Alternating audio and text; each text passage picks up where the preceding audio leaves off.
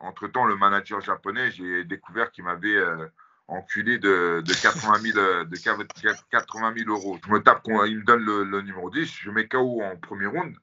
Dans ma tête, à moi, je me dis, ça y est, c'est bon. Tu vois, ils vont mettre le numéro, le numéro 6 ou le numéro 8 ou je sais pas quoi. Et on va gravir les échelons jusqu'à la ceinture, tu vois. Parce que je suis naïf. Cédric, il peut éteindre la lumière de Baki à n'importe quel moment. Sur une demi-frappe. Sur une frappe qui glisse sur le long du visage de Baki, il peut l'éteindre et l'autre repartir en civière. J'étais à table avec, euh, j'étais à table avec euh, Daniel Voirin. Euh, j'ai lu ça et tout. Et je pète un boulon, tu vois. Je dis, mais c'est qui ce fils de et tout, Gaëtan Lebris, voilà, c'est quelqu'un qui, pour moi, n'a rien à voir, n'a rien à faire dans le sport, encore moins dans les sports de combat. De lui-même, de son propre aveu, il est alcoolique et toxicomane et qu'il a un problème avec la cocaïne, tu vois. Je pense que il est en partie responsable du, du, suicide de quelqu'un.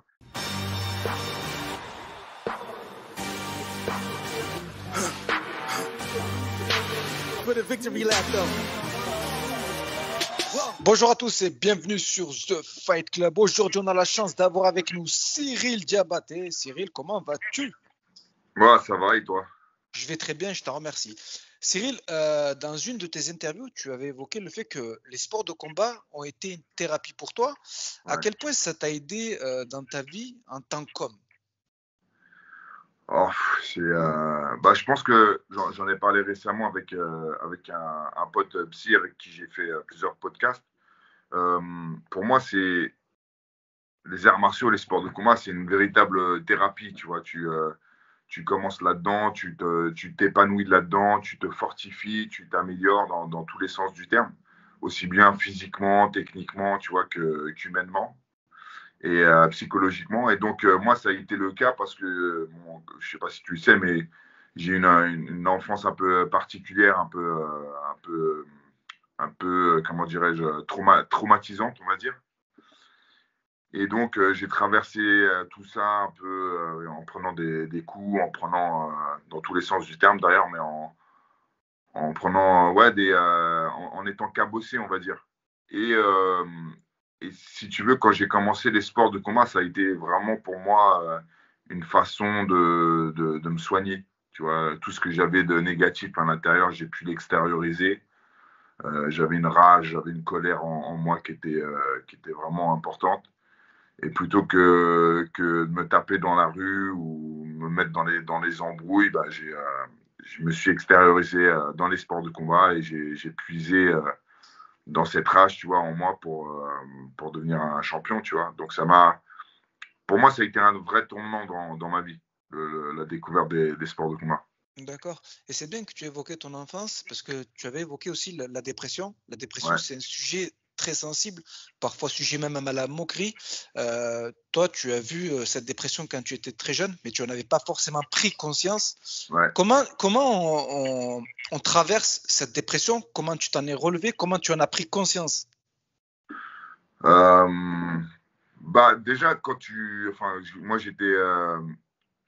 comme je t'ai dit, j'ai vécu une enfance douloureuse, tu vois, où j'ai déjà l'abandon du père, ensuite le décès de mon grand-père qui, avait remplacé mon, père, ensuite euh, le décès de ma mère qui est, morte euh, d'une longue maladie. Donc je l'ai vu, euh, je l'ai vu dépérir et je l'ai, je l'ai aidé, je l'ai, soutenu pendant ces dernières années de, vie. Mais moi j'avais entre 10 et 14 ans, tu vois. Donc c'est des trucs à, quand tu vis ça, quand tu as cet âge-là, ça te traumatise, tu vois. Tu vois ta mère malade, mourir, tu l'aides au quotidien, mais tu la vois dépérir euh, euh, jour par jour. Donc, euh, ça a été vraiment difficile, difficile, pour moi.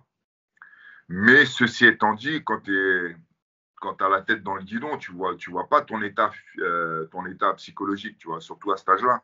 Tu ne fais, tu fais pas la différence entre toi et ton, et ton pote, ton pote du même âge, tu vois. Tu, tu dis pas, bon, ce que je suis en, je suis en train de vivre, c'est particulier, c'est, c'est difficile et, euh, et euh, c'est pas c'est euh, c'est pas tout le monde qui traverse ce que je, suis en train de traverser. Donc, si tu veux, en début de vie, pendant toute mon enfance et mon adolescence, même pendant une bonne partie de mon âge adulte, moi, j'étais, j'étais pas conscient d'avoir, d'avoir traversé un truc traumatisant, tu vois.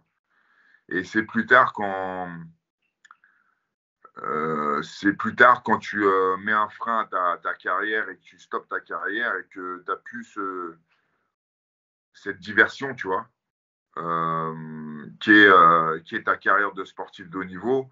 C'est quand tu, te retrouves un petit peu tout seul chez toi à, réfléchir à, plein de trucs, à, toi, à ton avenir, à ce que tu as fait et ce que tu as vécu que bah, tu, tu, euh, tu, te rends compte et puis euh, les, les, traumas refont surface, tu vois.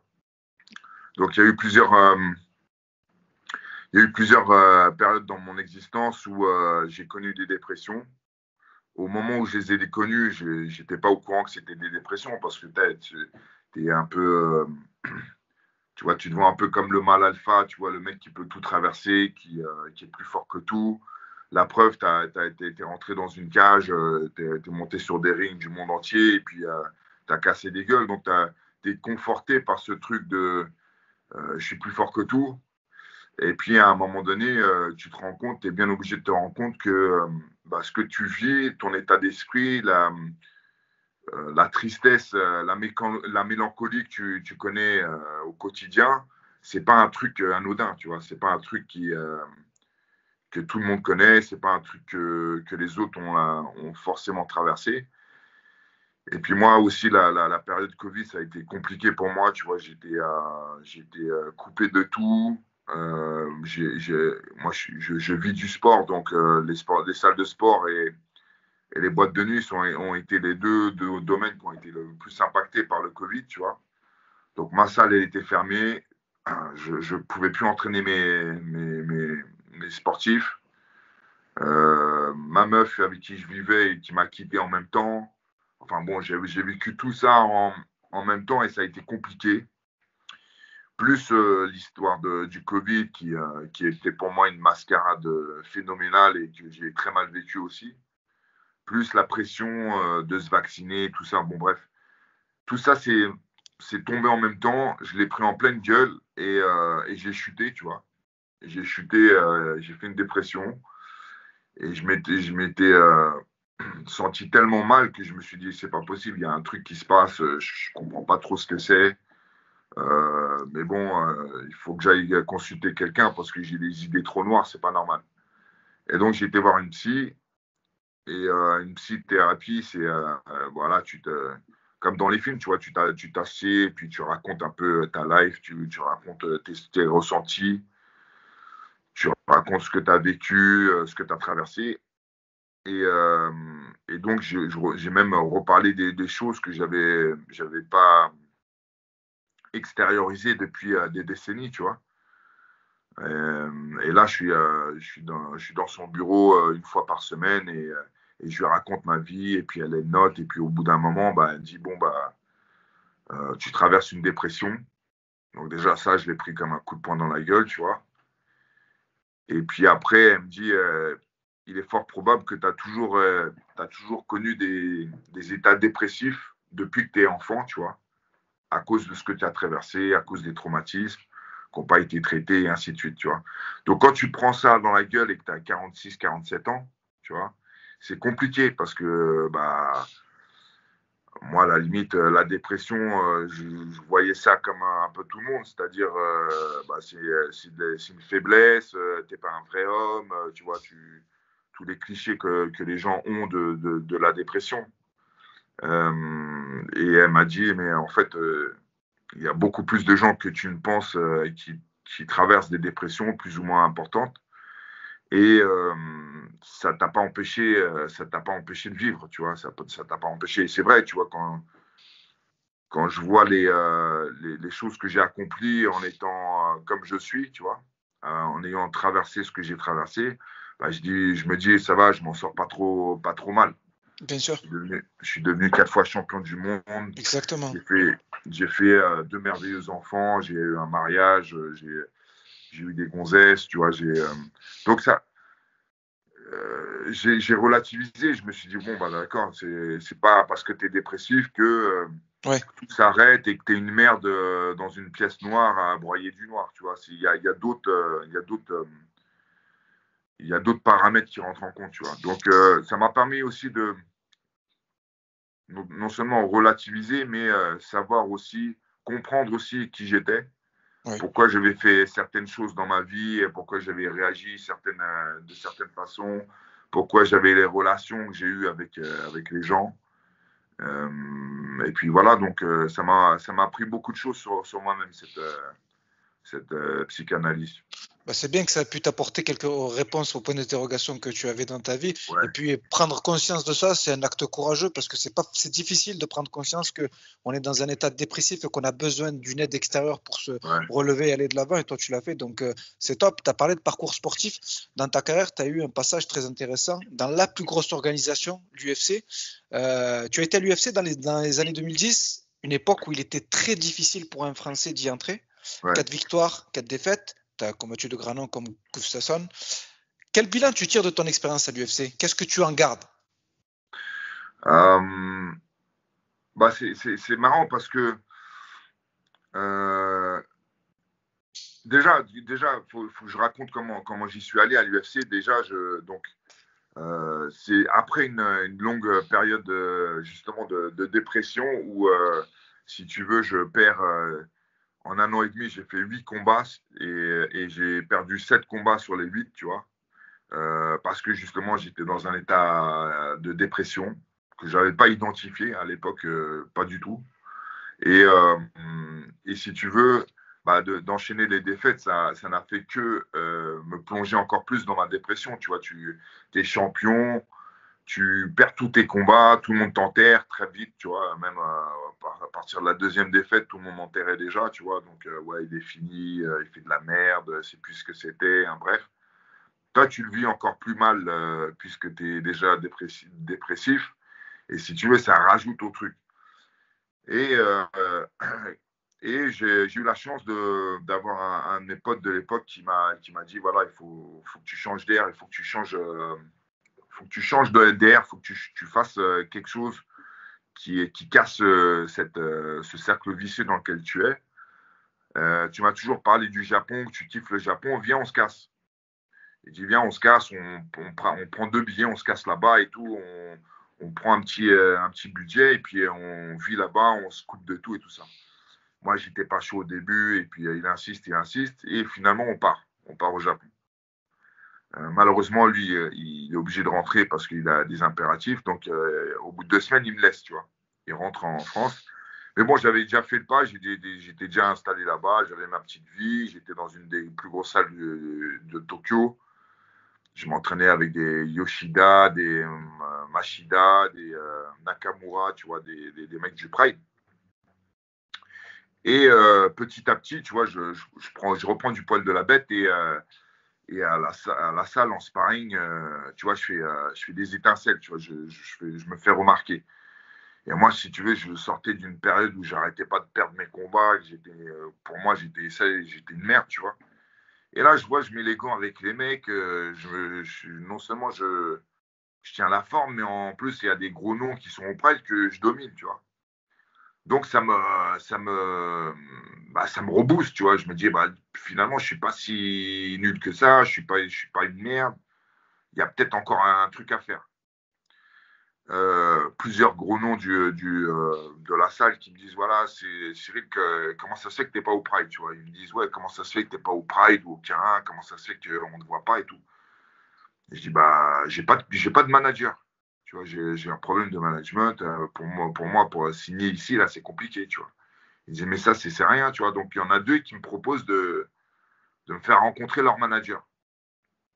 Et donc, euh, comme par hasard, ils arrivent, euh, les deux, ils arrivent le, même jour à la, salle pour me voir en sparring, tu vois. Donc, je fais mon, ma, séance, tu vois. Je, pareil, je suis, je suis très en forme ce jour-là, donc je tartine deux, trois mecs. Et à la fin, les deux, tu sais, très euh, protocolaires, tu vois, les, à la japonaise, tu vois, ils sont en costard, ils ont leur euh, attaché case, ils m'attendent euh, à la sortie, ils me font plein de courbettes. Chacun, chacun leur tour se présente à moi, tu vois, avec leur, leur business card.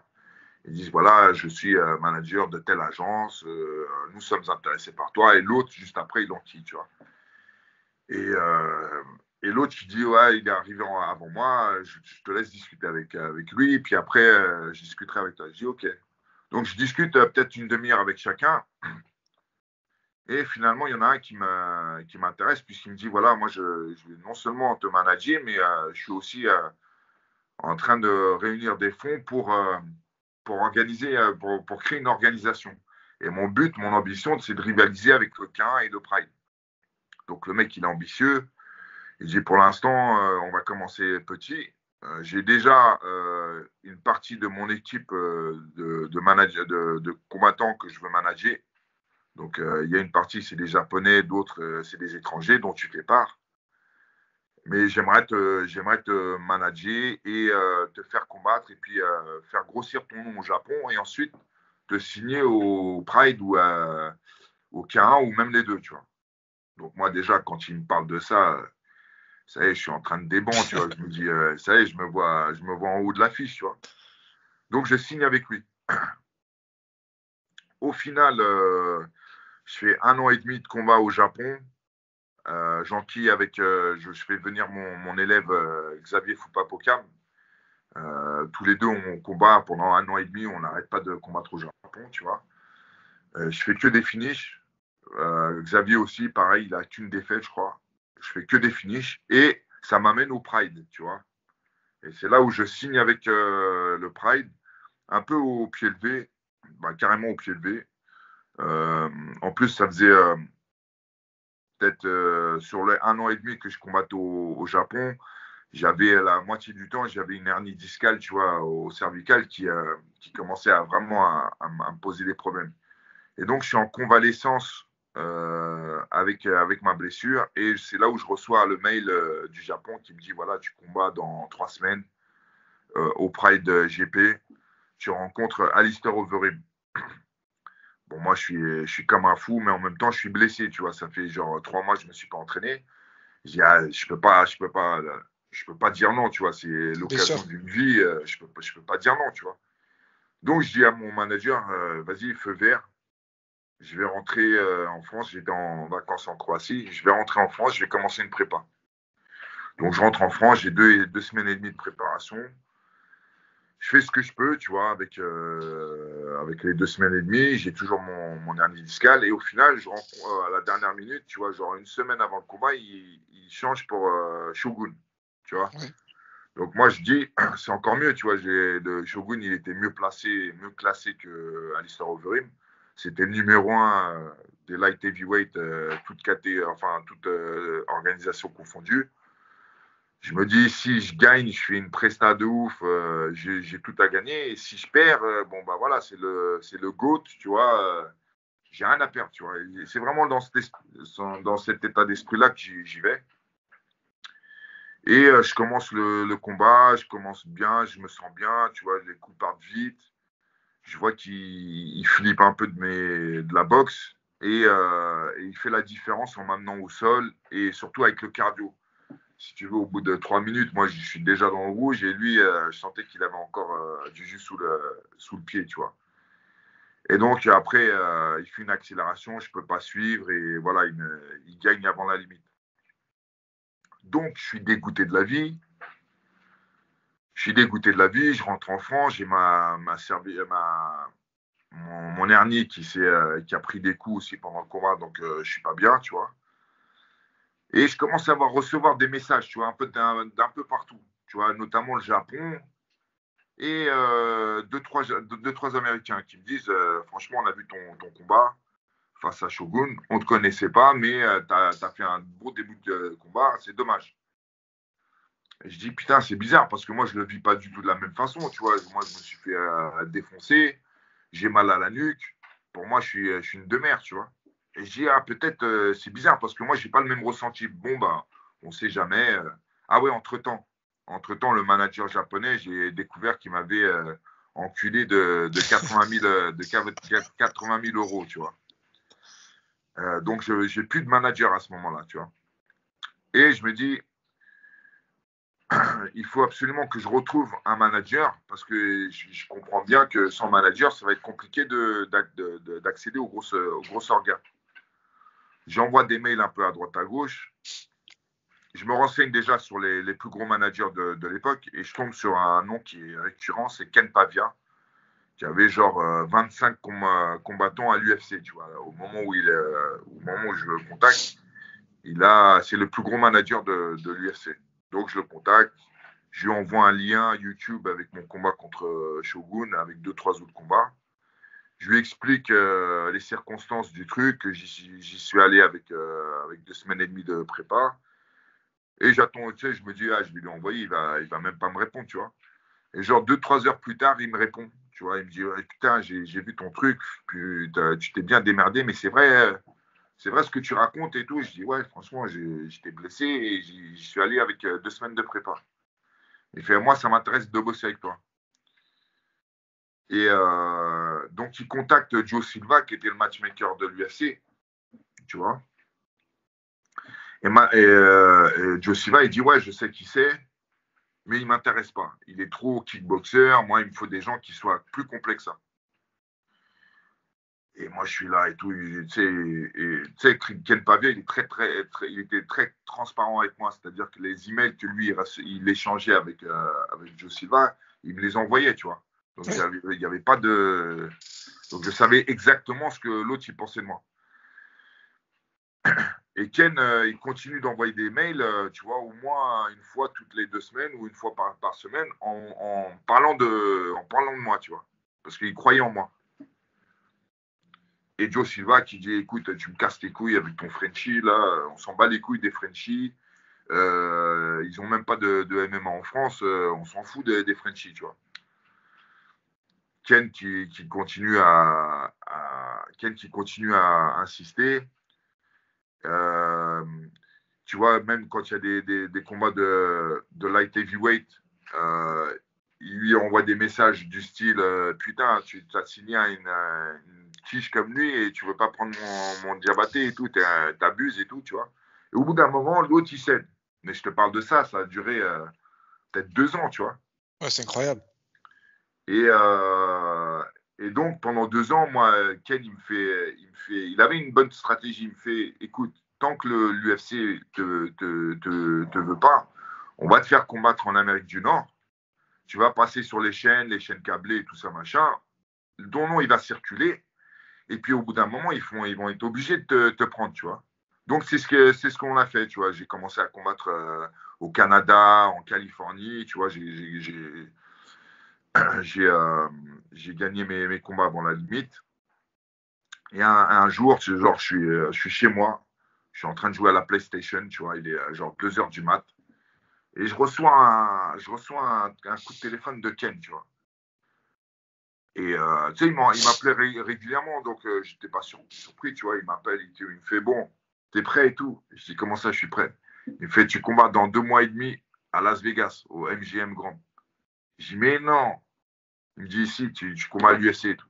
Je dis Mais qu'est-ce que tu me racontes? Il me fait C'est bon, c'est bon, je l'ai fait céder, tu vas combattre au MGM Grand contre euh, Louis Kane, qui était numéro 10 à l'époque, tu vois, un Brésilien qui mettait que des KO. Et je dis, mais putain, mais en plus de ça, je regardais un de ses combats l'autre jour et je me disais, putain, ce serait un match-up euh, parfait pour moi, tu vois. Il me dit, bah voilà, c'est ton adversaire pour le, l'UFC 114.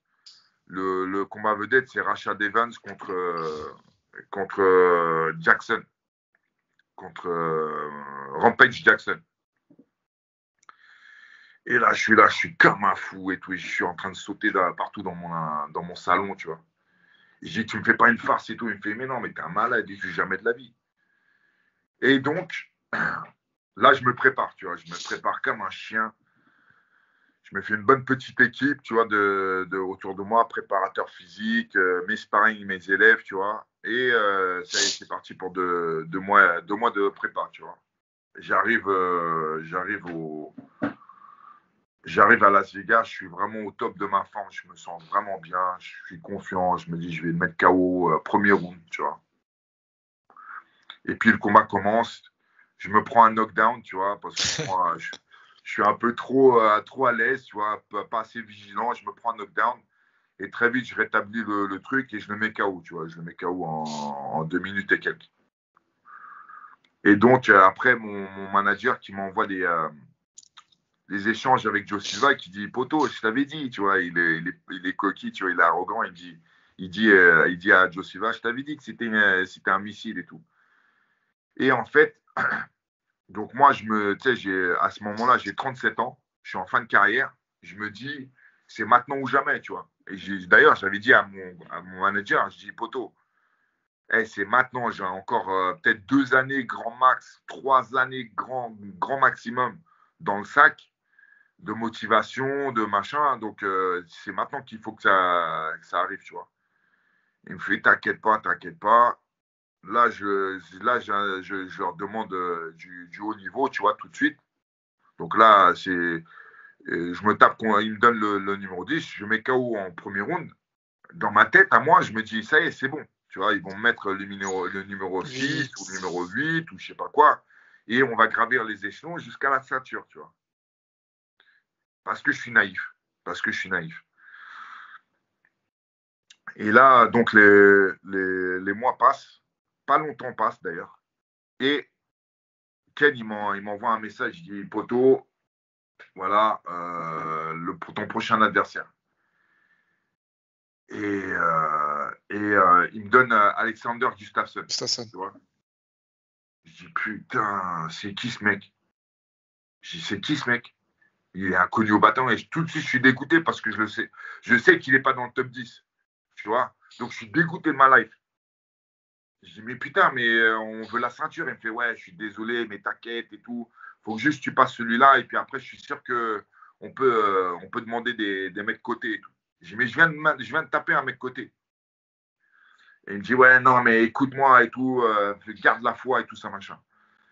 Et je vais sur YouTube et je regarde Gustafsson et je dis, oh l'enculé, il est bon. tu vois, je me dis, putain, j'ai rien à gagner en fait, moi, dans l'histoire. J'ai rien à gagner. Je viens de me taper le numéro 10 mondial, je l'ai mis KO. Si je me tape contre Gustafsson, ça ne va pas me faire monter dans les des rankings, puisqu'il est nulle part dans les rankings. Je crois qu'il était euh, top 30 à l'époque, tu vois. Top 35, euh, un, un, truc comme ça. J'ai il est, top, il est que top 35. Moi, à l'époque, euh, je viens de taper le numéro 10. Je crois que je suis monté à, 18, tu vois, mondial. Ouais. Je dis, pour moi, j'ai rien à gagner à, affronter un mec comme ça. Et en plus de ça, il est dangereux. Tu vois, il a, vraiment des bonnes armes et tout. Euh, il est grand, il est longiligne, il, frappe fort, il se déplace bien. Il a, il a un, bon, un bon rythme de croisière. Je vois toutes les, les problématiques, tu vois. Et je dis, putain, et donc, ça me, ça, me, ça me, met un coup au moral parce que je comprends à ce moment-là que l'UFC, ils vont jamais me donner ma chance. Tu vois ils vont juste m'utiliser comme, euh, ils appellent ça gatekeeper, tu vois, le gardien de la Ouais, comme Whitaker. Voilà, exactement. Comme Whitaker, exactement. Et donc, ils vont m'utiliser comme un mec qui est, euh, qu'il faut passer pour devenir euh, l'élite mondiale, tu vois. Et moi, j'ai capté ça direct et je dis, putain, les enculés. Moi qui me suis fait un film en me disant, ça y est, j'ai tapé le numéro 10 mondial, je vais, euh, je vais monter les, les, échelons et je vais me taper pour la ceinture. Eh ben non. Et euh, tu sais, à 37 ans, quand tu as déjà euh, quand tu as déjà 20 ans de carrière derrière toi, bah, tu n'es plus à un moment ou tu n'es plus à un endroit dans, dans, ta tête où tu te dis euh, ah, c'est bon, euh, je peux aller encore euh, me, taper pour monter dans les classements. Tu vois, tu te dis ça y est, c'est bon, j'ai fait mes preuves, tu vois. Et donc, ça m'a vraiment miné le moral. Et, et, en fait, ma carrière, l'UFC, ça a vraiment été une bataille avec moi-même, tu vois. Un coup, je suis motivé, un coup, je suis pas du tout motivé. J'en ai rien à foutre. Euh, on me dit tel doigt mec tu vas rencontrer. J'ai dit ah ok super. Euh, j'y vais pour le chèque, tu vois, clairement. Et, euh, et, en fait, ça a été ça pendant toute ma carrière UFC. Ça a été une montée, descente de motivation, de détermination, d'envie, tu vois. Et bah, c'est une très mauvaise mentalité, état d'esprit pour, pour, aller, pour aller taper dans, la, dans la cage la plus célèbre du monde, tu vois.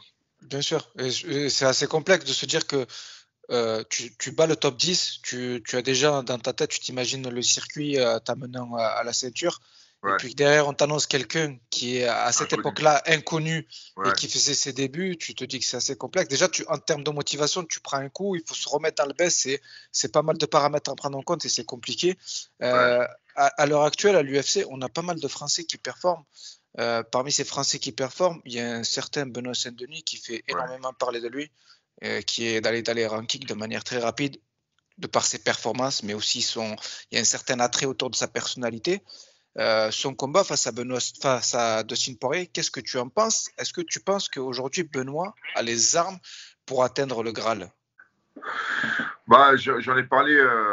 Euh, euh, on, a, fait une, belle petite émission de LFE il n'y a pas très longtemps. Où on, en parle de ça, tu vois, parce que Benoît Saint-Denis, en, en, fait, si je remonte, pour être tout à fait honnête, si je remonte deux ans en arrière, je le trouvais fort, mais rien d'exceptionnel, tu vois. Je me dis, ouais, c'est un bagarreur, tu vois. Je me dis, ouais, ça y est, c'est un bagarreur. Euh, il, baisse la tête, euh, il fonce en avant, il donne, il mouline un peu avec ses bras, et puis, euh, et puis comme il est volontaire, bah, à un moment donné, il déborde les mecs et puis il gagne, tu vois. Je voyais pas du tout le, le côté qu'on voit pas tout de suite, c'est-à-dire le côté progression éclair tu vois, euh, volonté et détermination euh, hors norme, même, euh, même à ce niveau-là de la compète, tu vois. Je le trouve vraiment hors norme à ce niveau-là, tu vois. Même si on le compare à tous les autres combattants de l'UFC, je trouve qu'il sort du lot, ne, serait-ce que par sa, volonté de gagner, tu vois. C'est un truc qui est, qui est, flippant d'ailleurs, qui est flippant parce que il le porte sur son visage. Exactement il le porte sur son visage. C'est-à-dire que quand tu, le vois dans la vie de tous les jours et que tu discutes avec lui, bon, c'est un mec lambda, normal, il n'est pas super euh, impressionnant, il n'a pas une stature de, ouf et tout ça. Il est juste un peu euh, cabossé euh, par la vie, tu vois, ses oreilles, il a plein de cicatrices au visage, mais en dehors de ça, c'est pas un mec qui est impressionnant. Par contre, une fois qu'il est dans un contexte combat et que tu vois son, visage, je trouve impressionnant. Il a un truc qui fait flipper, tu vois. Et, euh, mais ça, il y a deux ans, il y a, ouais, il y a deux ans en arrière, j'étais loin de me dire en fait que c'était ce mec-là. Je me disais pas un jour il pourrait combattre pour la ceinture des moins de 70 kilos, tu vois, parce que euh, pour moi il était, il était bon mais pas, pas impressionnant. Là aujourd'hui, je le trouve carrément impressionnant. Et je pense qu'il y a cette transformation-là, je l'ai vu chez beaucoup de gens qui le, qui le regardent, qui l'observent. Parce que comme, euh, comme moi, on a tous fait l'erreur de, de considérer euh, Benoît Saint-Denis au moment T où on l'a découvert, tu vois, mais en survolant ou en, tout cas euh, en sous-estimant sa capacité à progresser comme il l'a fait et aussi la détermination qu'il habite, tu vois. Et aujourd'hui, c'est ça qui m'impressionne le plus chez lui. Je me dis, mais en fait, où va-t-il s'arrêter? Oui, c'est exactement ça. J'ai la même euh, analyse que toi. Je ne vois pas ses limites. Je ne sais pas où, à quel moment il peut les atteindre. Parce que, y regarde, on va prendre l'année qui vient de s'écouler. Tu vois, une année complète, il a combattu trois fois. Bah, en trois combats, il s'est transformé. Tu vois, euh, déjà, on a découvert une arme chez lui qu'on ne connaissait pas, c'était son middle jambe arrière, tu vois on a découvert sa capacité à construire, à tenir un game plan, le, s'y tenir à la lettre et même euh, piéger ses adversaires, comme il a fait avec euh, son dernier là, où il le, coince un peu euh, contre la cage, il lui laisse une porte de sortie, puis il, le reprend d'un coup de coup de pompe dans la tête, tu vois. Bah, tous ces trucs-là, en fait, c'est des couches et des niveaux qui rajoutent à, son, à, son, à sa panoplie combat après combat. Et il fait des bons, tu vois. C'est normal de progresser combat après, après combat. Mais faire des bons comme il fait, tu vois, de progression, c'est du rarement vu, en fait. C'est du rarement vu. Et aujourd'hui, le, le, Benoît que j'ai découvert, je crois que la première fois que je l'ai vu combattre, c'était un, la Coupe de France de Pancras, je crois, euh, il y a 4-5 ans j'avais des combattants qui, étaient sur le, sur le même truc, tu vois, en banlieue parisienne, dans, dans, 60, euh, non, dans 91, je crois. Et je vois Daniel qui est mon poteau, je le vois avec un, avec, avec un combattant, il me dit, tu vas voir, il est fort et tout, machin. Et puis, je le vois gagner, mais il se fait ouvrir le, il fait ouvrir le, visage, tu vois. Donc, je vois qu'il est, est, dur au mal, je vois qu'il est bagarre, mais il ne m'impressionne pas, tu vois. Je me dis, ouais, il prend des coups dans sa gueule, euh, c'est un peu un c'est un peu un chiffonnier qui va, qui va au charbon, mais il n'est pas impressionnant, tu vois. Et par contre, la fois d'après, quand je l'ai revu combat, je dis putain, il a, il a bien progressé l'élève à, Daniel. Et en fait, depuis ce jour-là, en fait, à chaque fois que je le vois, je me dis c'est un, un, combattant, euh, c'est une nouvelle version en fait. Tu vois. Bah, c'est ça, c'est une belle version que tu vois, parce que moi je suis un peu dans la même analyse où j'ai l'impression qu'en fait à chaque sortie il évolue, il progresse, puis les stops sont de plus en plus intéressants, l'adversité est de plus en plus importante et il répond toujours aux attentes. Tu sais, son niveau, il est euh, en adéquation avec l'adversaire qu'il a en face de lui. Ouais, exact. Et ben le, truc qui est flippant aussi, c'est que il s'améliore, il s'améliore tellement de combat en combat qu'il il, il prend de moins en moins de dommages. Tu vois? C'est-à-dire qu'avant, euh, ce que je lui reprochais, c'est qu'il prenait énormément de coups dans la, dans la bouche. ce que tout le monde lui reproche, tu vois. Parce qu'il avait que 27 ans, mais on dirait qu'il en a 47. Vrai. Mais, mais ça n'empêche, ça n'empêche que tu regardes le dernier combat qu'il a pris, qu'il a fait, il n'a pas pris de coups. Ou très peu. La fois d'avant, il a pris des coups, mais c'était face à, je crois, au top 13 mondial, un truc comme ça. Euh, Moïse, il, avait été dans le top 15 face à Makachev et euh, il n'était plus à, l'instant T, mais il a été dans le top 15 face à Makachev et il a tenu quand même quelques rounds avec lui. Quoi. Voilà. Donc c'est un mec euh, du top mondial quand même, même s'il était dégringolé dans, dans, les classements, il était quand même dangereux. Et, et Benoît s'en est défait magistralement, tu vois. sa dernière prestation, c'est celle la plus aboutie avec Bon Film, je crois, tu vois. Mais euh, d'ailleurs, contre Bonfim, pareil, il n'avait pas pris beaucoup de coups. Euh, il avait tellement euh, dominé son sujet que l'autre, il n'avait même pas eu le temps de lui mettre des coups, je crois. Masterclass. Masterclass, tu vois. Comme le dernier, comme Frévola, tu vois. Et donc, je me dis, en fait, comme j'ai dit dans une, dans, une, dans une émission de RMC, c'est, tu, tu, tu me feras plus parier contre lui, en fait je peux plus aujourd'hui je peux plus parier contre lui parce que il a cette capacité de, de, prendre le niveau de l'adversaire qu'il a et le dépasser. Bien sûr. Donc je me dis Poirier qui est quand même une légende du sport, tu vois, qui a fait des combats de malade mental, euh, qui a fait des finishes de ouf, qui a un putain de style, euh, mais qui prend des coups aussi. Tu vois, il prend des coups, euh, il a pris des coups, euh, notamment contre euh, Justin, tu vois, où il a pris un sacré KO, tu vois. Ça laisse des traces, tout ça, tu vois. Ça laisse des traces. Je suis sûr qu'aujourd'hui, je suis sûr qu'aujourd'hui, même si, même s'il rencontre Dustin Poirier et qu'il perd face à Dustin Poirier, je pense que ça sera du ric-rac. Je pense pas que Dustin Poirier va lui rouler dessus. Et, même s'il perd, ce que je pense pas, hein, je, pense que euh, Benoît va, gagner le combat, mais même s'il perd le combat, il va, pourra, il montre, il va montrer à tout le monde qu'il a le niveau d'un Dustin Poirier.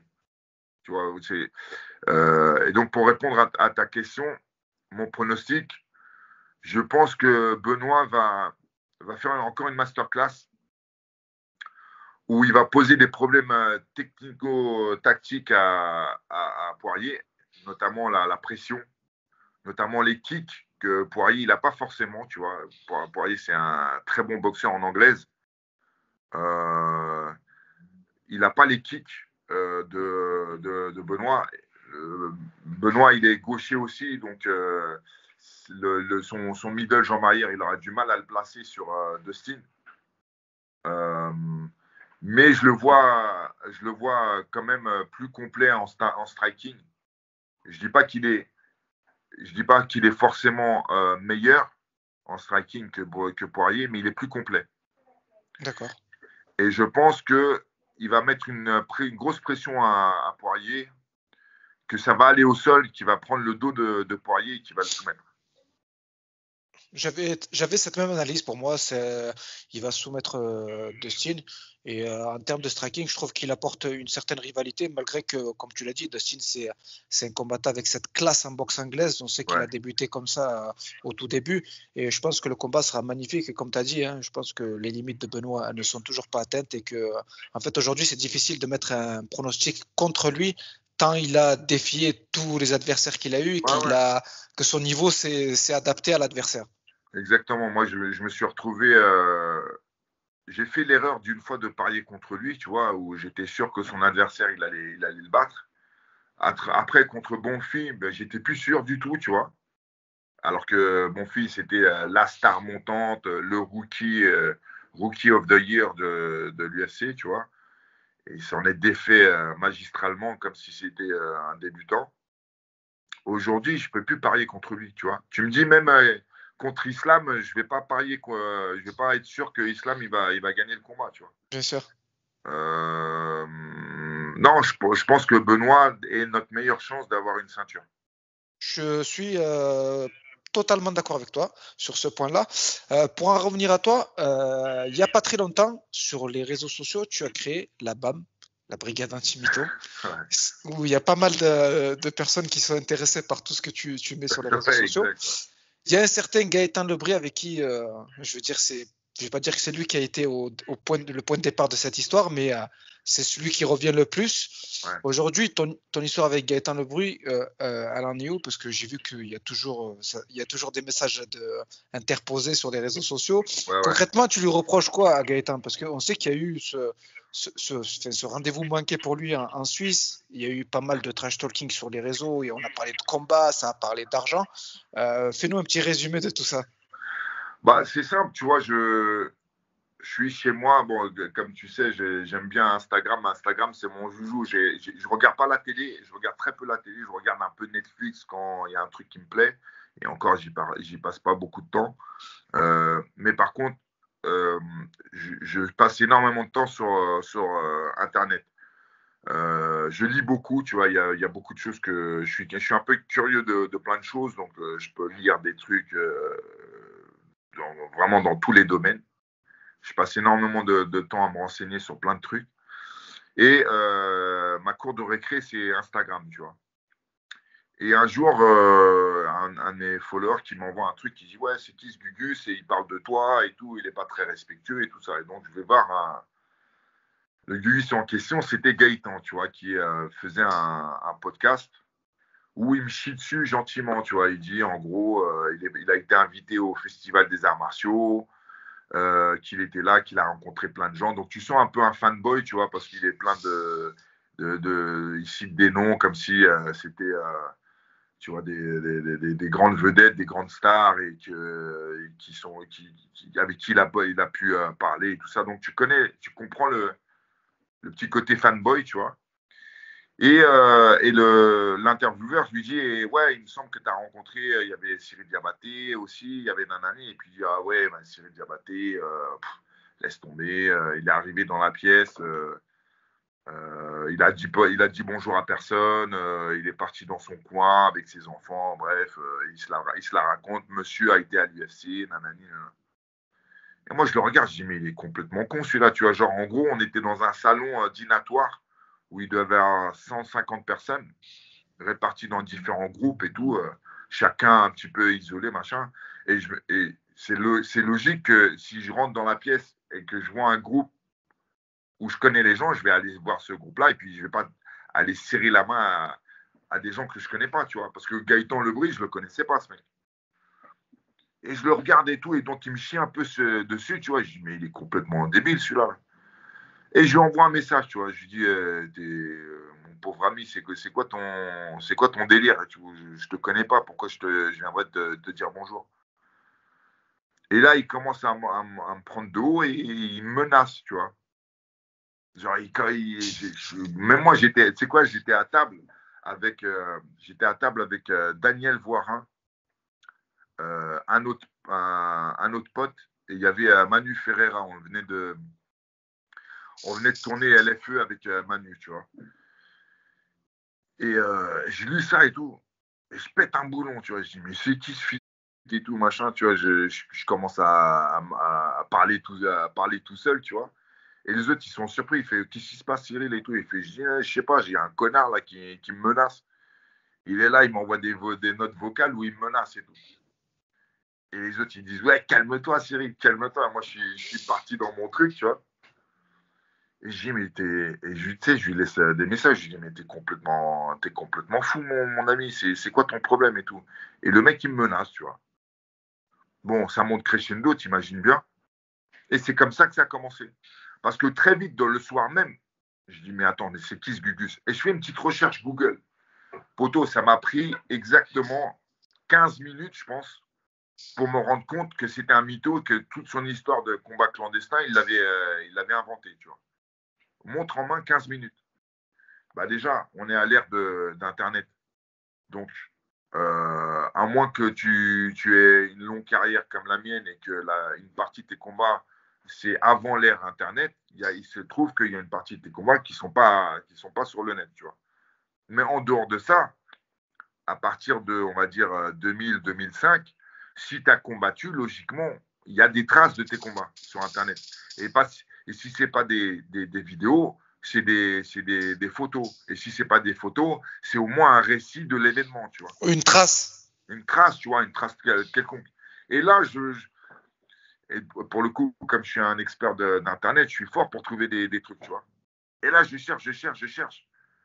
Je trouve rien du tout sur le Gugus. Je dis, mais c'est quoi ce. C'est quoi ce. C'est quoi ce, ce, ce, fou? Et je cherche, je cherche, et je vois. Et je trouve qu'un truc. C'est un vieux combat tout, tout éclaté au sol qui date de, 2000, de 2012 euh, au, Lyon, au Lyon FC en Suisse où tu vois combattre en amateur et le mec, il est nul à chier, tu vois. Et pourtant, je, je, en tapant, en cherchant euh, des trucs sur lui, je vois des interviews où euh, il dit qu'il a commencé sa carrière professionnelle en 2008, que 2008, il, écume euh, les, cages et les, dojos du monde, même les cages, les caves et les parkings, parce qu'il a fait du combat clandestin et que, euh, voilà, tu vois. Et donc, il raconte des histoires où euh, en 2008, 2009, 2010, il faisait des combats clandestins et qu'il a gagné, par moment, il a gagné jusqu'à 48 000 euros, tu vois, pour un combat, pour un de ses combats. Et après, je vois le, niveau qu'il a en 2012, où le mec, il est amateur et que même pour un niveau amateur, il est nul. Il est nul à chier et qu'il a peur des coups en plus.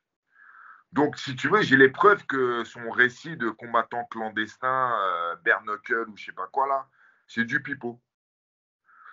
Et je suis là et tout. Et ça m'a pris, euh, franchement, ça m'a pris euh, ouais, 15 minutes, 20 minutes grand max pour me rendre compte que c'est un mytho. Et je me dis, mais en fait, tous les mecs là qui l'ont inventé, là, qui l'ont invité sur leurs médias, tu vois, que ça soit Brut, que ça soit Karate Bushido, Greg Emema et, euh, The Rob, euh, tous les mecs qui l'ont enchaîné et tout. Ils n'ont pas fait de recherche. je me dis, mais pourquoi ils n'ont pas fait 15 minutes, les 15 mêmes minutes de recherche que moi, tu vois? Tu, tu, vois que le mec, c'est un zombie. Et donc après, bon bah, j'ai exposé le, le mythomane que c'est, tu vois, c'est, très rapide, hein. tu, tu, mets deux trois montages, euh, tu montres euh, son combat de son combat de 2012 euh, où il est vraiment éclaté et bon les gens ils se rendent compte vite fait que c'est un mytho, tu vois.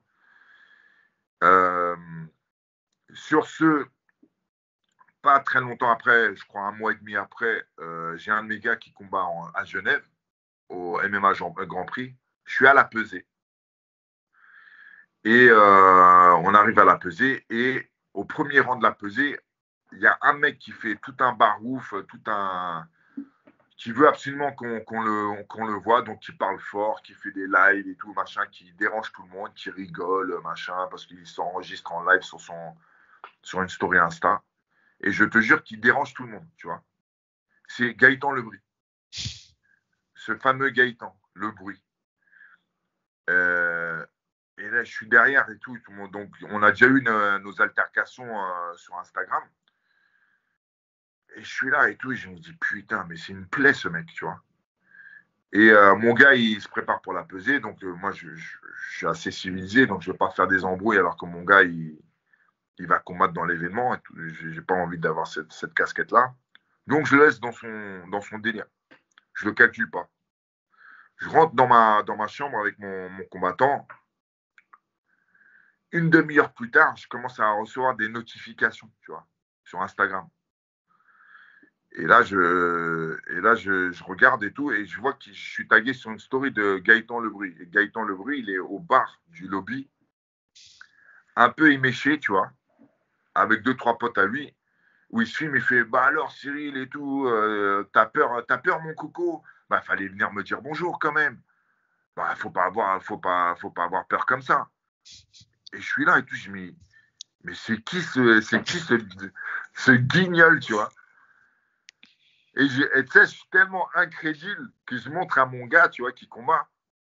Et je lui montre, il fait, mais il est complètement fou celui-là. Bref, je descends. Je descends au lobby, au bar de machin. Il est de dos par rapport à moi. Je tape sur l'épaule, il se retourne. Il me voit, bon, sa tête, elle change un peu, tu vois.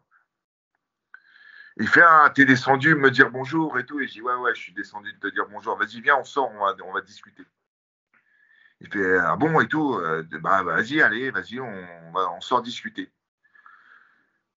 Donc on sort, on traverse le lobby, on arrive aux portes euh, tournantes de l'hôtel là, et puis au fur et à mesure qu'il avance, je vois, il ralentit un peu le pas, tu vois. On est dans la, porte euh, tournante, et là il s'arrête. Et il se retourne avec des yeux de Calimero et il me dit Tu sais, Cyril, moi je te respecte énormément. Euh, on va pas aller, on va, on va pas se bagarrer quand même. Hein. On est, on est des adultes. J'ai dit, vas-y, vas-y, sors, on va discuter dehors. Il fait, mais Cyril, euh, j'ai pas envie de me bagarrer avec toi, moi. Et tu sais, mais vraiment avec une tête de mesquine, tu vois. Dans ma tête, et là, je suis déjà, je suis, je suis déjà démarré, si tu veux. Il, euh, me fait passer pour un, pour un, un trou de balle. Ça y est, et puis même les menaces et tout ça, ça m'avait chauffé. Donc, moi, je suis parti pour le gifler, tu vois. Et euh, il s'arrête et tout. Donc, ça prend un peu de temps tout ça. Donc, les gens qui étaient avec lui au bar, ils sortent avec nous. En même temps qu'on sort, ils sortent avec nous. Et il y a, y a, un petit attroupement, qui se fait. Et je dis, viens, viens Gaëtan, viens, on va à l'écart. Comme, comme, comme des grandes personnes, on va à l'écart, on va à, côté, là, on se met, t'inquiète pas, on va discuter. Il fait, mais non, mais j'ai pas envie de me bagarrer. Il fait vraiment le miskin, tu vois. L'organisateur sort,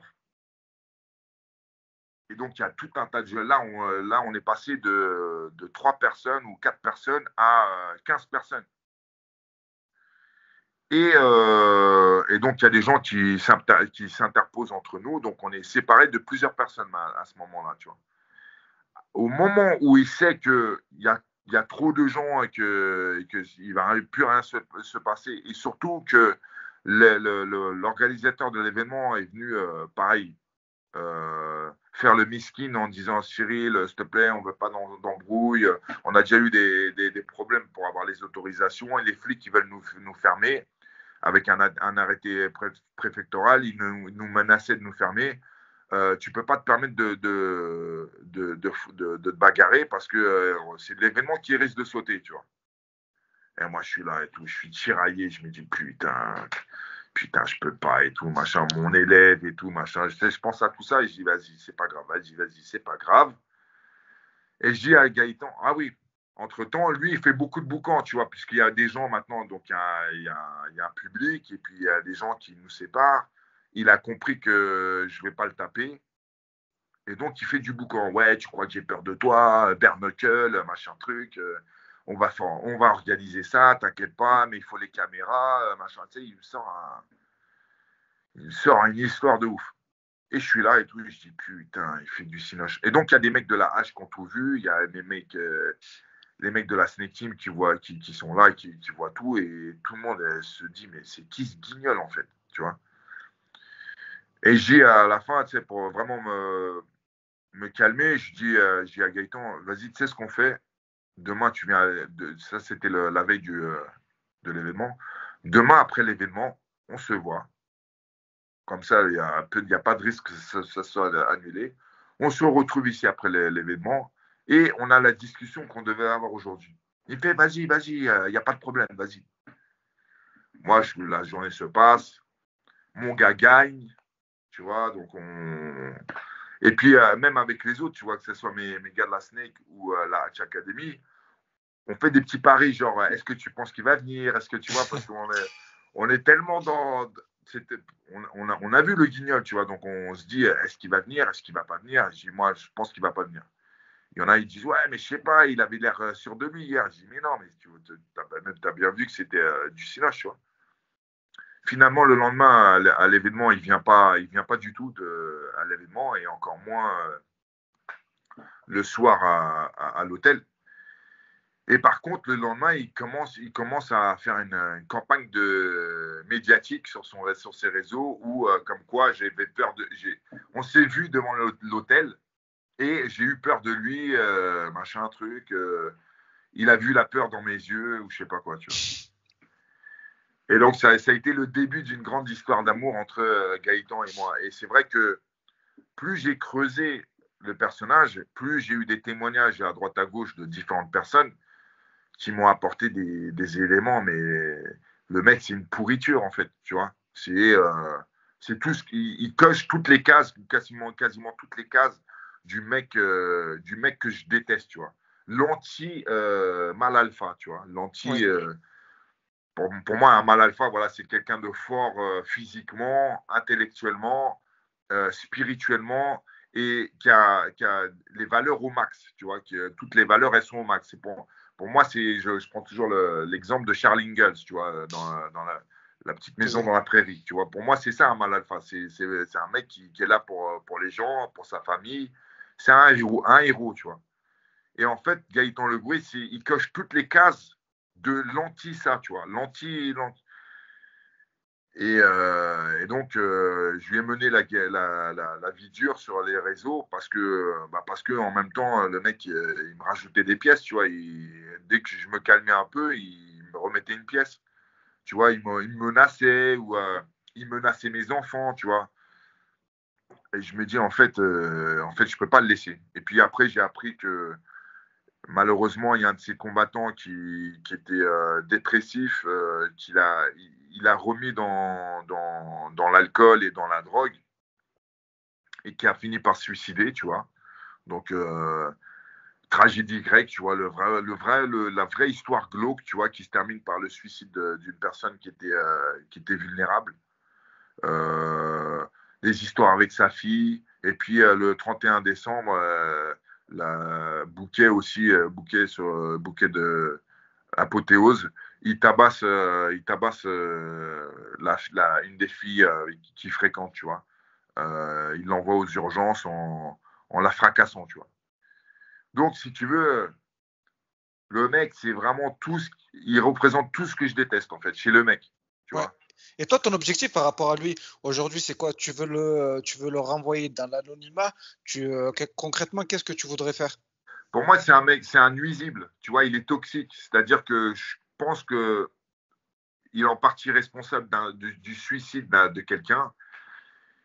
C'est quelqu'un qui violente les femmes, tu vois. Euh, il a une éducation avec ses enfants qui est euh, plus que douteuse je, c'est, si tu veux, il représente, il est euh, l'anti-coach par excellence. Un coach, pour moi, dans une salle de, sport, encore, euh, encore plus de sport de combat, d'arts martiaux, c'est quelqu'un qui doit être exemplaire.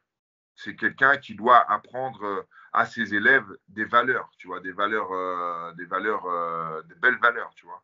C'est quelqu'un qui doit être courageux, qui doit être, enfin, il doit avoir tout un tas de, valeurs.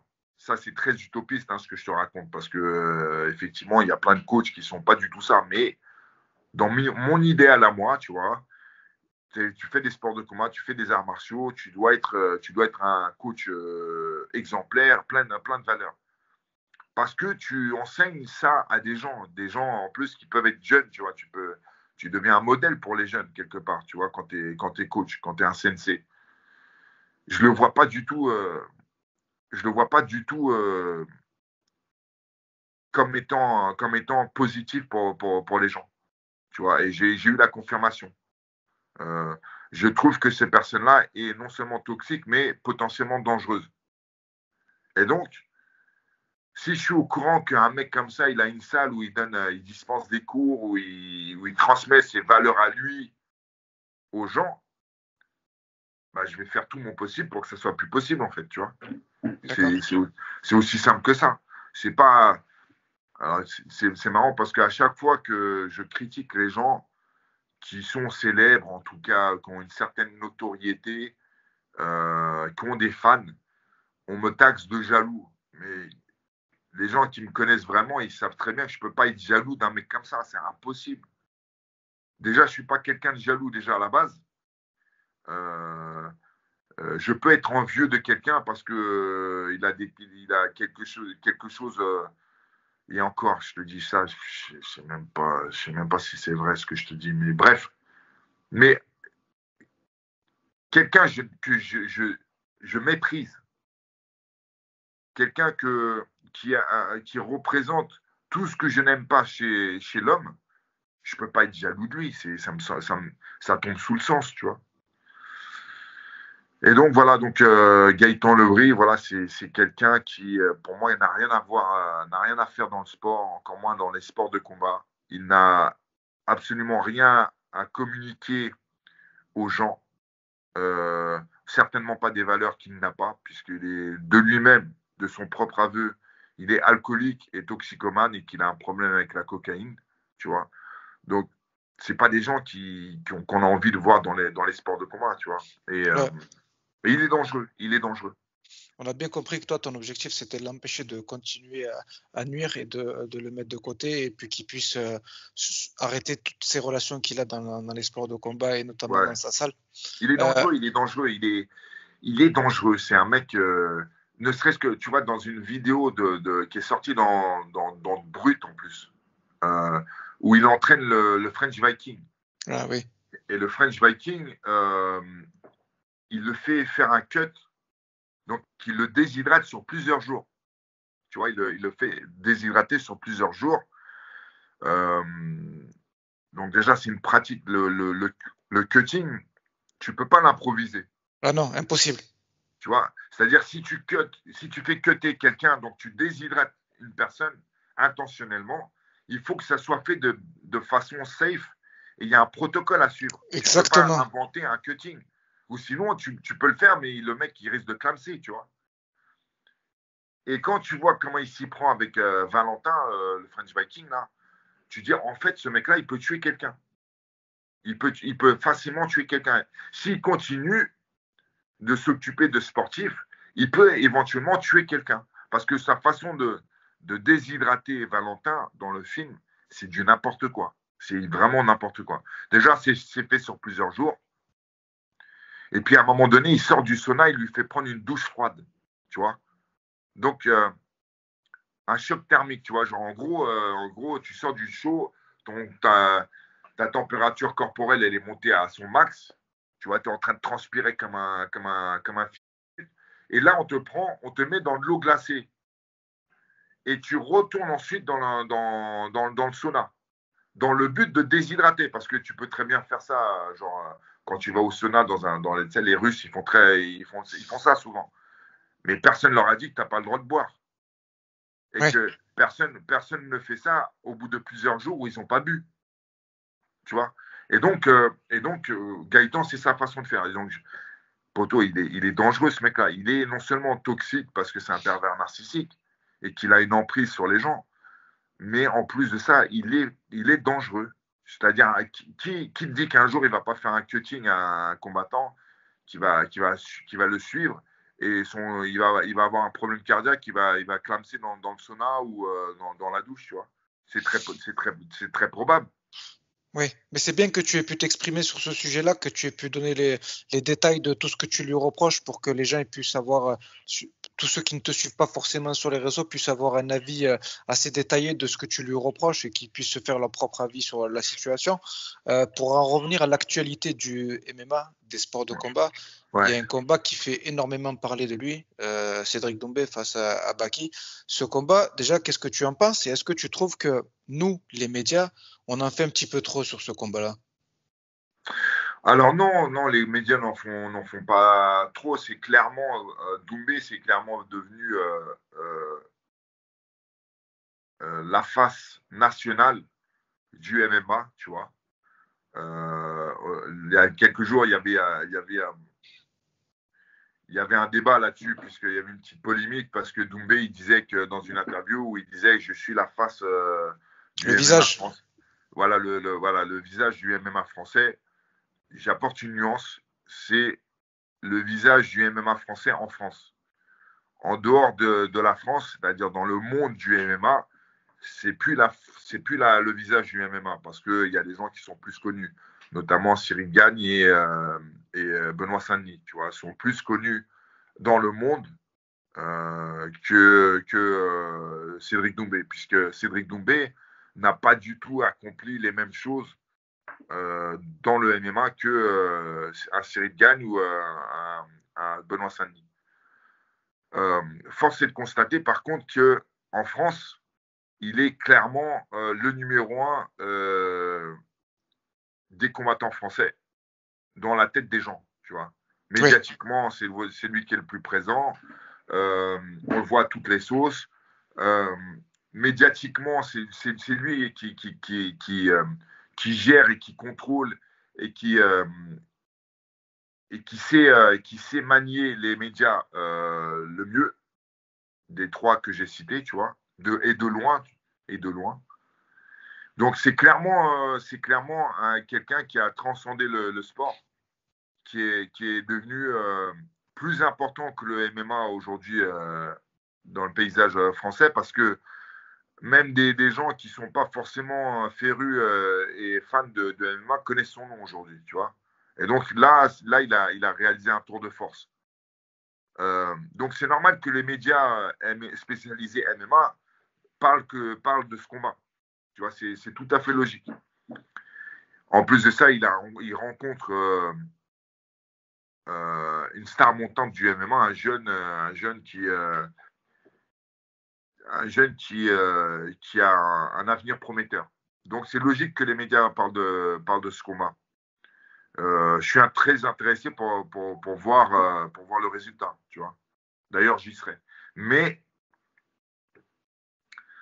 je trouve encore une fois que on dirait que le, les Français veulent tellement une star française du MMA, tellement à, euh, l'affût et euh, veulent tellement voilà, veulent tellement une star euh, une star du, du MMA qu'ils en fabriquent trop tôt en fait tu vois. Par exemple Baki il n'a pas encore il a, il a, il a rien réalisé encore. Concrètement Baki il a huit combats huit victoires mais pas, pas face à des mecs qui sont pas face à des tops, tu vois. Euh, c'est encore un, jeune combattant. Il a plein d'avenir, il a un gros, un très gros potentiel, mais on va pas se mentir, il n'a pas rencontré un mec, euh, un mec, euh, un top, un top 30 dans, sa catégorie. Il n'a pas, il c'est pas des mecs, les, les huit, les huit personnes qu'il a, qu'il a, qu'il a battues, ce sont pas des, des gens qui sont connus dans le milieu et qui ont une grosse réputation. Et le seul qu'il a rencontré qui avait une réputation, c'est un mec qui était à l'UFC il y a 10 piges. Escudero. Voilà, Escudero, donc.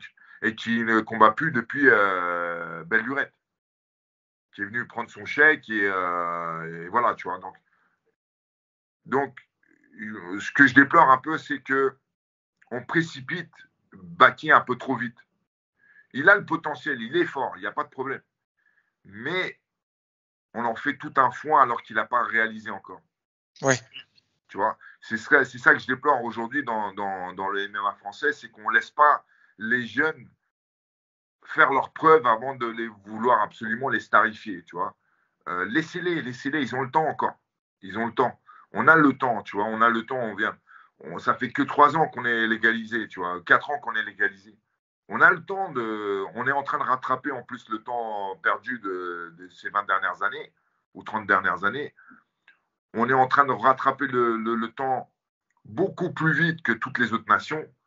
on est en train de progresser à une vitesse qu'aucune autre nation au monde euh, progresse.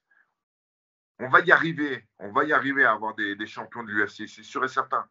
À un moment donné, on sera une des nations les plus titrées euh, en MMA. J'en suis sûr et certain. Mais il faut nous laisser le temps. Baki, il a le temps encore. Il a, je crois, il a 23 ans, un truc comme ça. Et c'est ridicule l'âge qu'il a, tu vois. 22 ans, c'est encore, euh, il est, il est pas, il est encore tout, tout frais. Voilà, donc il a le temps, il a le temps de devenir une star internationale, il a le temps de devenir euh, machin. Arrêtez de, le, arrêtez de lui mettre la pression. je ne sais même pas s'il subit encore la pression, mais là, il va la connaître, la pression avec, euh, avec Doumbé. Tu vois? Euh, Doumbé, c'est un vieux briscard. Doumbé, je ne sais pas combien de combats il a. Il ne doit pas, avoir, pas être loin d'une centaine de combats, je pense, tout sport confondu, tu vois. Euh, c'est un mec qui a été, euh, je crois, sept fois, sept, fois champion du Glory. Il a je sais pas combien de titres de champion du monde. C'est un mec qui est, il connaît la compétition de haut niveau sur le bout des doigts. Il n'y a rien qui aujourd'hui qui peut le, surprendre. Euh, il n'y a rien qui peut lui mettre la pression, à part lui-même. Il n'y a rien qui peut lui mettre la pression et surtout pas les caméras, les projecteurs et tout ça. Pour moi, même si c'est un combat, un combat qui m'intéresse, parce qu'il y a de la une hype euh, de ouf derrière. Euh, je trouve que c'est précipité euh, Baki dans, dans, un truc, un truc qui il va avoir du mal à gérer. D'accord. Donc pour toi, en fait, aujourd'hui, Cédric a clairement l'avantage sur Baki quand tu regardes l'affiche entre les deux. Ouais, ouais. Je pense que l'expérience le, de Cédric. Alors, je pense que Baki est peut-être sur le papier, en tout cas, plus complet.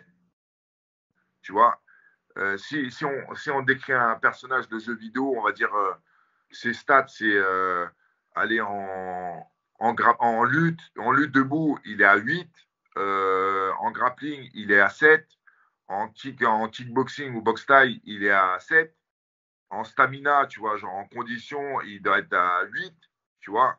Sauf que Cédric Doumbé, il est à 10 en striking. Euh, je pense qu'en stamina, il doit être au même niveau que Baki. Je pense qu'il s'est bien entraîné. En lutte, c'est peut-être là où le seul endroit où il est moins fort que, que, Baki.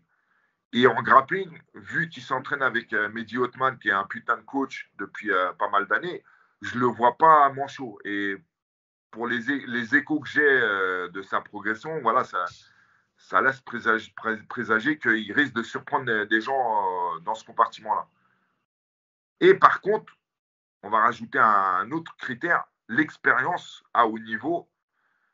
Euh, Cédric, il a, un 11 sur 10. Et Baki, il est à, il est à 4. Ouais. Tu vois? Donc, c'est compliqué de me. Pour moi, c'est compliqué de voir euh, Baki gagnant, tu vois. Oui.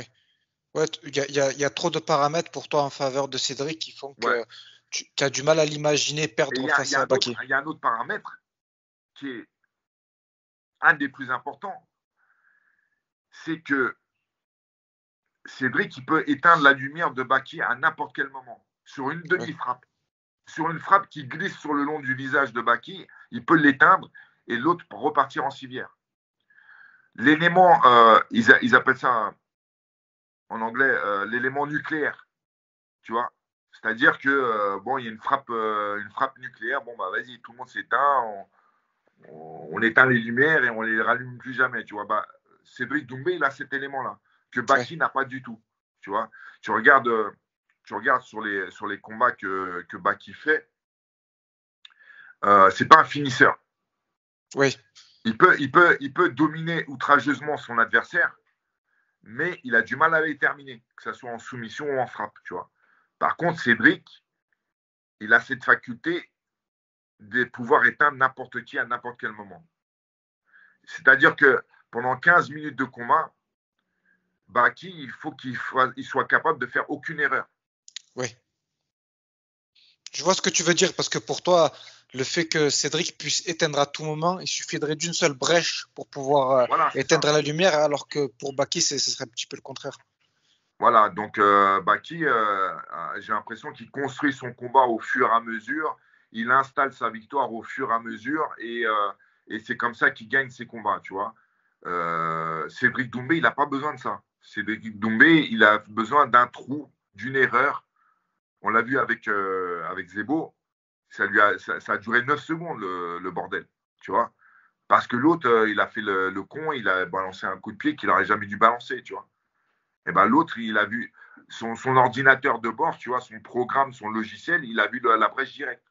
Bien sûr. Est-ce que Baki va être capable de combattre 15 minutes sans lui offrir une brèche? Ouais. C'est vrai, il y, a beaucoup d'éléments. De toute façon, sur ce combat-là, il y a tellement de paramètres sur lesquels on peut pencher que donner un résultat exact, c'est compliqué. Puis euh, il faudra voir comment euh, Baki va réagir, il faudra voir comment Cédric euh, va se comporter. Donc la meilleure solution, c'est d'attendre le 7 mars et, de voir ce combat-là. En tout, en tout cas, j'ai en tout cas j'ai hâte. Tu vois, ça c'est vraiment un, des combats franco-français qui me, qui me qui me tient en haleine. Là, je t'ai sorti ma théorie de pourquoi Cédric Doumbé va gagner. on sait toi et moi que les sports de combat c'est pas une science exacte que je peux te sortir toute ma science et que le jour, euh, le jour J, ça se trouve, c'est Baki qui va mettre l'autre KO. Ça m'étonnerait, mais c'est tout à fait possible. Euh, on a bien vu euh, Crocop se faire mettre KO par Kevin Randleman, tu vois. C'est vrai.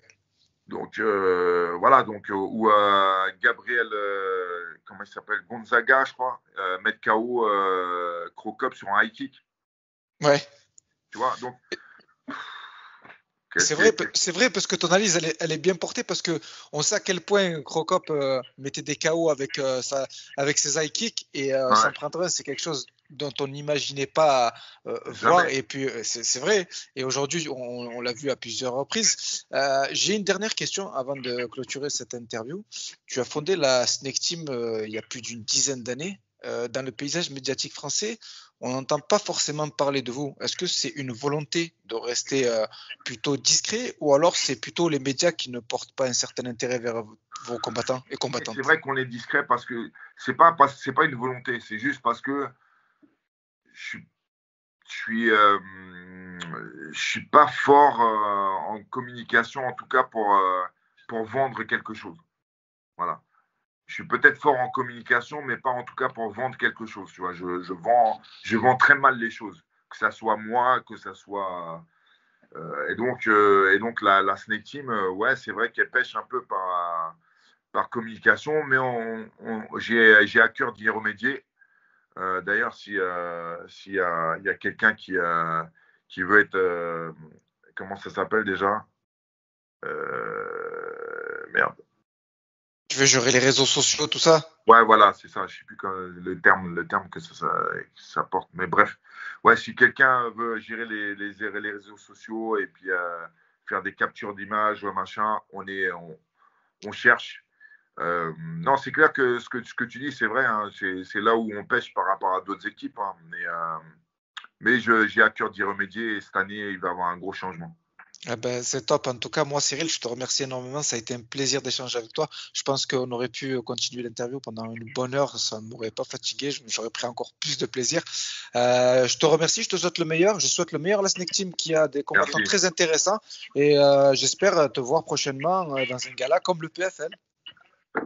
Sans problème, sans problème. On Merci, Cyril. On, est, on, on va surprendre des gens cette année, vous inquiétez pas.